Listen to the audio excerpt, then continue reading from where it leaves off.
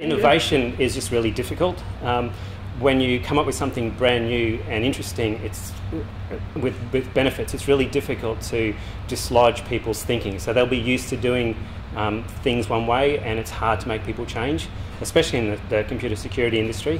Um, people are used to putting in little codes and passwords and, and, all sorts of stuff, which just doesn't work.